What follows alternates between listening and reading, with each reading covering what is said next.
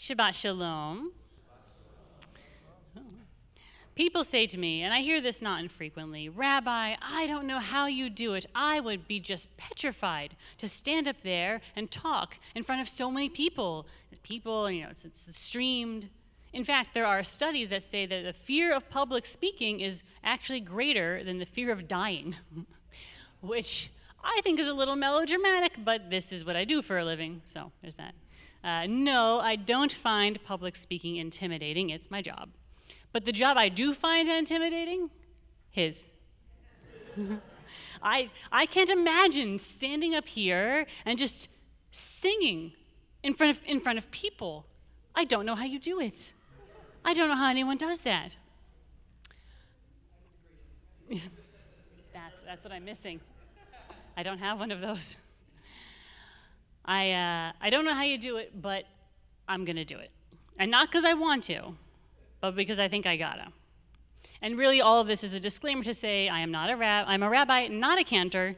I'm not going to quit my day job for reasons that will become apparent uh, very soon. There is a song, uh, a Jewish song.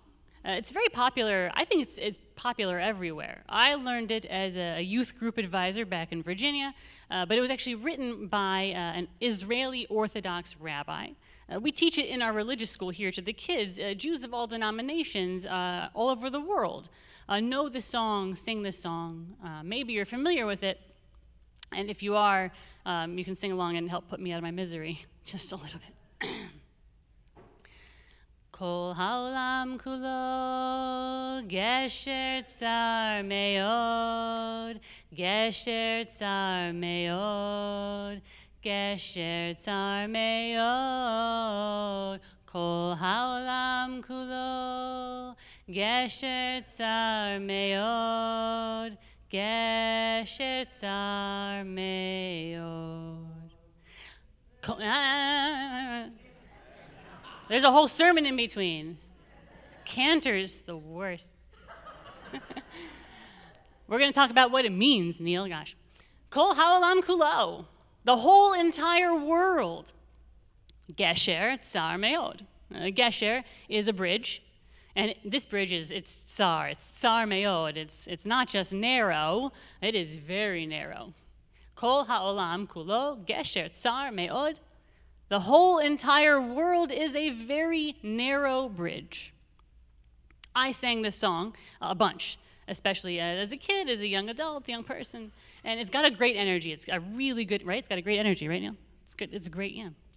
Uh, especially when you're in a room full of kids and everyone's going, yeah, there's some hand motions, you make like a bridge, it's a, it's a whole thing. But I never really thought as a kid about the words.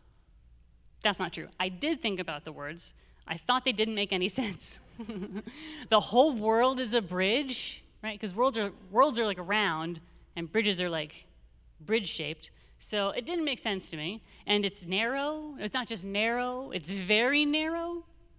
As a kid, uh, the words of the song, the idea behind the song, it seems kind of weird. But I think I get it a lot more now as an adult. Because uh, the world these days does feel like a very narrow bridge. Like like in those movies you know where there's a rainforest everywhere and there's this the intrepid hero and running and there's like a chasm right? And uh, has to cross a bridge but the bridge is only wide enough for them. And they're, they're, they're going across with these unstable steps and the bridge is made out of like wooden planks right? And strung together with rope. And so they're kind of grasping these thin ropes and making these precarious steps. And it just seems like the next step or one big gust of wind could send our hero plunging into the depths that's what the song's talking about, that the world is that bridge, precarious, unstable. Like any moment, it's going to come crashing down, or that it actually already is continually crashing down, that we live in a slow motion car wreck. Like when you see families going out to enjoy a celebration in a heavily Jewish suburb of Illinois on the 4th of July.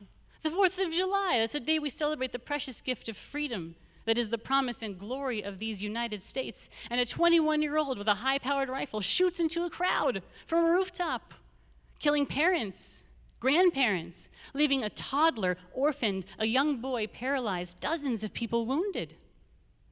our world feels unstable. Or not long after, on the other side of the world, the former prime minister of Japan, Shinzo Abe, was assassinated early this morning while giving a public address during their election season. Shinzo Abe, who, by the way, was a very strong supporter of Israel. He went twice. Israel, uh, Isaac Herzog, Naftali Bennett, Benjamin Netanyahu, they have so many wonderful things to say about Abe, and they all agreed, and they don't agree on anything. How can you look around the world now, kol ha'olam kulo, and say, you know, how can you not say, Gesher Tsar Me'od, it is a very narrow bridge out there. And then, how could you not be petrified by the fear of it? Because the world does seem so dark now, so precarious. And how does that fear not sometimes grip you in the night, immobilize you, crush you? But as so many of you know, there's a second line to the song. It ends, Gesher Tsar Meod, Vehaikar, Vehaikar, Lo Lefached, Lo Lefached Klal, Vehaikar, Vehaikar, Lo Lefached Klal. How do you do this? How do you do this? It's horrible. Ooh, oh my God. Oh my God. Never doing this again. Uh, ikar and the ikar is the, the most essential thing. Lo lefached klal is to not be afraid at all. Veha ikar lo lefached klal, the most essential thing is to not be afraid at all.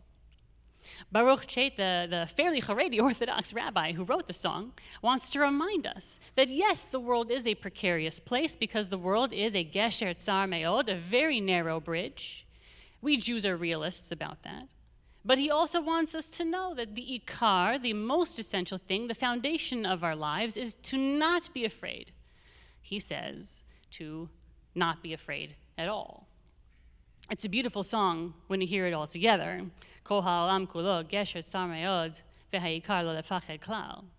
The entire world is a very narrow bridge, and the most essential thing is to not be afraid at all. But I have a, I have a problem with the song, uh, a, a pretty big problem, actually, because it's impossible. It's impossible. Because how you feel is how you feel. And there is no way to induce or stop your feelings. And how, how can anyone look around at the world right now, at the social upheaval, the economic upheaval, the violence and hatred seeming, seething at what seems to be less and less under the surface of society? How can you look at that and not feel afraid? How can you tell me not to be afraid?